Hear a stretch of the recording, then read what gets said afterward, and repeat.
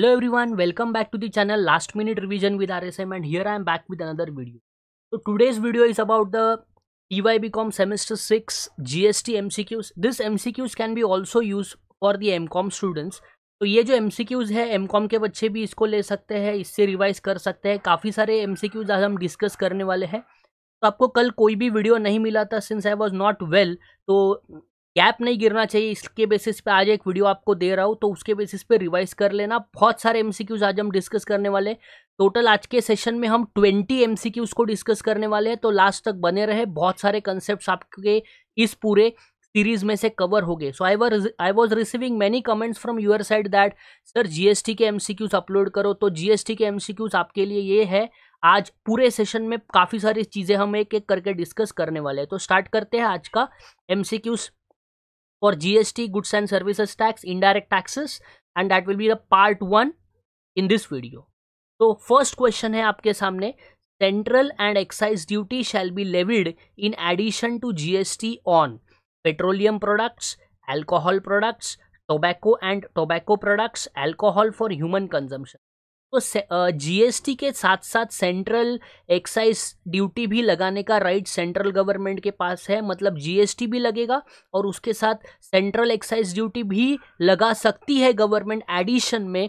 इनमें से कौन से प्रोडक्ट्स के ऊपर? तो right answer for this question is tobacco and tobacco products तो टोबैको एंड टोबैको प्रोडक्ट्स के ऊपर additional central and excise duty government चाहे तो लगा सकती है जीएसटी के साथ। क्वेश्चन नंबर टू देखते हैं. Integrated goods and service tax means tax levied under the IGST act on supply of any goods and और services in the course of dash trade और commerce the options are intrastate interstate business and international तो याद रखना, देखो intrastate का मतलब होता है within the state same state अगर हम एक स्टेट से उसी स्टेट में गुड्स बेचेंगे तो तो टैक्स कौन सा लगेगा? C G S T and S G S T अगर हम एक स्टेट से दूसरे स्टेट में को गुड्स बेचेंगे तो टैक्स कौन सा लगेगा?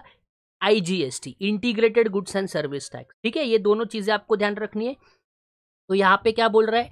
Integrated goods and services tax के बारे में बात की जा रही है तो इसका राइट आंसर बनेगा इंटर स्टेट ध्यान रखना इंटर का मतलब होता है एक स्टेट से दूसरे स्टेट में गुड्स को सेल करना या सर्विसेज़ को प्रोवाइड करना।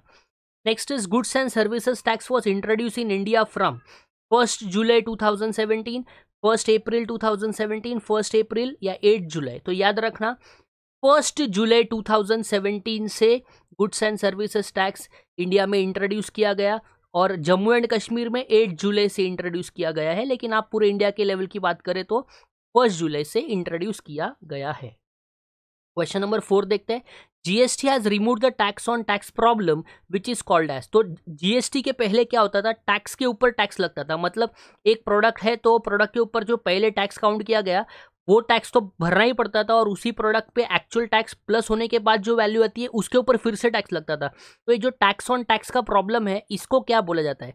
D T double A that is double taxation avoidance agreement cascading effect tax evasion या टैक्स प्लानिंग तो ध्यान रखना उसको बोला जाता है टैक्स इफ़ेक्ट टैक्स इवेजन का मतलब क्या होता है? टैक्स की चोरी करना मतलब वो एक एक, एक टाइप का इलीगल एक्ट है. टैक्स प्लानिंग का मतलब होता है हम प्रॉपर सारे एग्जामेशन डिडक्शंस का बेनिफिट ले लें और टैक्स की प्रॉपर प्लानिंग करें. ये अलाउड है गवर्नमेंट की तरफ़ से.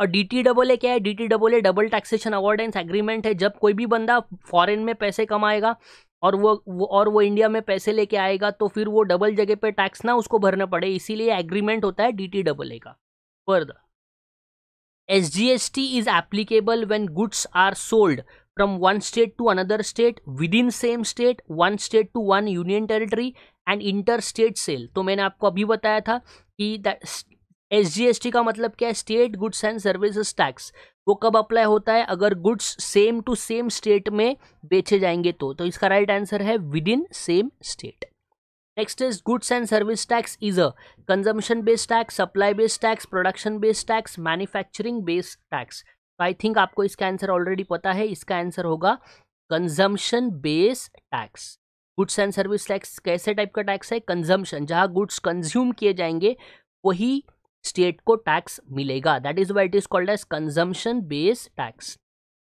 if a seller from Gujarat sells goods to a consumer from Haryana, then the tax collected is CGST, SGST, C G S T U T G S T integrated GST या only SGST अगर एक गुजरात का seller जो है वो हरियाणा के consumer को goods बेच रहा है तो यहाँ पे दो स्टेट इन्वॉल्व है। मतलब एक स्टेट से दूसरे स्टेट में गुड्स बेचे जा रहे हैं। तो मैंने आपको अभी बताया था, जब एक स्टेट से दूसरे स्टेट में गुड्स बेचे जाएँगे, तब कौन सा टैक्स लगता है? आईजीएसटी लगता है which is called as integrated goods and services tax so I hope कि आपका ये क्वेश्चन क्लियर हुआ रहेगा। Question number eight GST dealers with annual turnover of dash are not required to use H S N H S N का मतलब होता है harmonize system of nomen codes होते हैं तो less than 1.5 crore less than 2 crore less than 5 crore less than 1 crore तो ध्यान रखना इसका सही ऑप्शन है लेस देन 1.5 करोड़ जो कॉम्पोजिशन स्कीम का भी कंसेप्ट है, आपको ध्यान रखना है,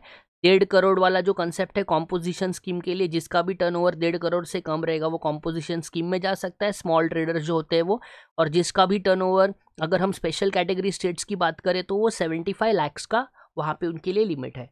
नेक्स्ट क्वेश्चन में जाते हैं। Under GST law S A C refers to systematic accounting code service accounting code system administration code या साइंटिफिक अकाउंटिंग कोड तो आपको ध्यान रखना है जीएसटी लॉ में एसएससी का मतलब क्या होता है? एसएससी का मतलब होता है सर्विस अकाउंटिंग कोड ध्यान से very important point service accounting code next question में जाते हैं। ओके चलो, आगे बढ़े फिर। इलेवेंथ नंबर के question the chairperson of the GST council is तो जीएसटी काउंसिल का चेयरपर्सन कौन है? Union minister of state incharge of revenue union finance minister one selected person amongst the state finance minister या minister in charge of finance और taxation तो the chairperson of GST is union finance minister जो union finance minister होगा central level पे तो that will be the GST council chairperson okay twelfth number में जाते हैं GST is based on the principle of dash based consumption तो GST is based on the principle of supply manufacture consumption या destination तो right answer है destination जहाँ goods हम लोग सेंड करेंगे एक स्टेट से दूसरे स्टेट में तो जहाँ पे गुड्स जाके कंज्यूम होंगे, उसी को बोला जाएगा, उसी स्टेट को क्या मिलेगा? टैक्स मिलेगा, ठीक है? डेस्टिनेशन बेस्ड कौन से प्रिंसिपल को फॉलो करता है? डेस्टिनेशन बेस कंजम्पशन टैक्स ऐसा उसको बोलते हैं तो डेस्टिनेशन बेस आपको ध्यान रखना। क्योंकि लिए यहाँ पे कंजम्पशन भी ऑप्शन है कंज्यूम मत हो जाना। वहाँ पे क्या है? कंजम्पशन ऑप्शन यहाँ पे दिया है तो कंफ्यूज मत हो जाना उसके बेसिस पे। कंजम्पशन जिस स्टेट में गुड्स कंज्यूम होंगे, वहाँ पे टैक्स मिलेगा उस स्टेट को। लेकिन ये एक डेस्टिनेशन बेस्ड कंजम्पशन टैक्स है। ध्यान से, मैंने आपको क्लियर करवा दिया है। क्वेश्चन नंबर थर्टीन में जाएँगे. Under reverse charge the liability to pay on supply of goods and और services is on recipient of supply supplier of supply both fifty percent each none of the above तो basically options पे देखेंगे ध्यान से तो इसका right right answer बनेगा. Recipient of supply reverse charge mechanism जिसको हम शॉर्ट फॉर्म में आरसीएम बोलते हैं। तो यहाँ पे जो आरसीएम है, उसकी लाइबिलिटी किस पे होगी? The pay on supply of the goods on services होगी रेसिपियंट ऑफ़ द सप्लाई के basis question number fourteen every deposit made towards tax interest penalty fee और any other amount shall be credited to electronic cash ledger electronic credit ledger electronic liability register और electronic account ledger तो इसका right answer है electronic cash ledger ध्यान से important concept है, ध्यान रखना electronic cash ledger fifteen number का क्वेश्चन देखते हैं. CPIN stand for common PAN identification number challan paid identification number common portal identification number या चलान पोर्टल आइडेंटिफिकेशन नंबर तो सीपीआईएन का फुल फॉर्म क्या है?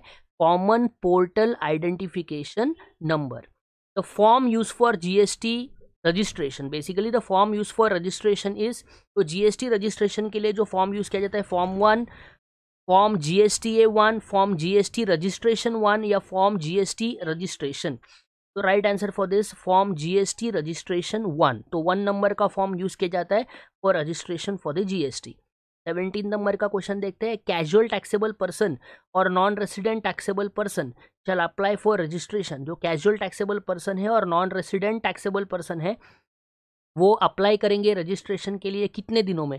Five days from the commencement of business within sixty days from the commencement of business at least fifteen days prior to commencement of business at least five days prior to commencement of business इसके लिए आपका concept clear होना चाहिए, वरना आपको इसका answer नहीं आएगा तो इसका राइट right आंसर है at least five days prior to commencement of business पाँच दिनों के अंदर कमेंसमेंट ऑफ़ बिज़नेस होने से पहले उसको रजिस्ट्रेशन के लिए अप्लाई करना पड़ेगा। Question number eighteen the tax deducted has to be paid to the government within how many days after the end of the month in which deducted तो TDS जो डिडक्ट होगा, वो गवर्नमेंट को कितने दिनों में भरना है? वो गवर्नमेंट को टेन डेज़ के अंदर भरना है। क्वेश्चन नंबर नाइनटीन देखते हैं। Indirect tax is a dash type of tax indirect tax कौन से टाइप का टैक्स है? रिग्रेसिव है प्रोग्रेसिव है टैक्स ऑन टैक्स है कि वैल्यू एडेड टैक्स है? तो right answer for this is indirect tax is a regressive type of tax question number twenty आज का last question integrated goods and service tax, which is called as igst is levied on interstate supplies except supply of petroleum crude motor spirit natural gas या alcoholic liquor for human consumption तो ध्यान से इसका answer है alcoholic liquor for human consumption ध्यान से सारे MCQs को रिवाइज करते रहना काफ़ी इंपॉर्टेंट कंसेप्ट है। तो आपको याद रखना है अकॉर्डिंगली तो these are some of the M C Qs which we have discuss today I hope कि आपके बहुत सारे इसमें से कंसेप्ट क्लियर होंगे। सारे बेसिस पे रिवाइज करते रहना रहना आपको चैनल पे हर बार नए नए बेसिस पे एम सी क्यूज मिलते रहेंगे सो so दैट आपका एग्ज़ाम तक प्रिपरेशंस और भी अच्छा हो जाए। बिकॉज़ आप सभी के पास एम सी क्यूज का अभी एक बहुत बड़ा भंडार आया होगा। बहुत सारे एम सी क्यूज आपको मिलेंगे। लेकिन आप कितने एम सी क्यूज पढ़ोगे उससे पेपर में अगर उसमें से एमसीक्यू थोड़े रिपीट हुए तो that will be better for you too right but attempt the paper but अगर कोई डिफरेंट टाइप के एमसीक्यूज बने तो फिर आपको प्रॉब्लम ना हो जाए. इसलिए आई यूजुअली से कंसेप्ट के ऊपर फोकस करो. आपके जितने भी कंसेप्ट क्लियर होंगे, आप कोई भी तरीके का एमसीक्यू को आंसर कर सकोगे. Thank you very much from this session अगर आप पहली बार चैनल पे आए हो तो चैनल को सब्सक्राइब कर ले और टेलीग्राम चैनल है last minute revision with R S M उसको ज्वाइन कर ले। आपको टाइम टू टाइम गाइडेंस उस पर मिलता रहेगा। नोटिफिकेशंस के वीडियोस जो मैं अपलोड करता हूँ, उसका नोटिफिकेशन के लिए वहाँ पे मिलते रहेंगे। कुछ ऑडियोज़ भी मिलेंगे। थैंक यू वेरी मच अगले बार मिलेंगे कुछ नए वीडियोज़ के साथ। Thank you all of you bye bye take care as always work harder be smarter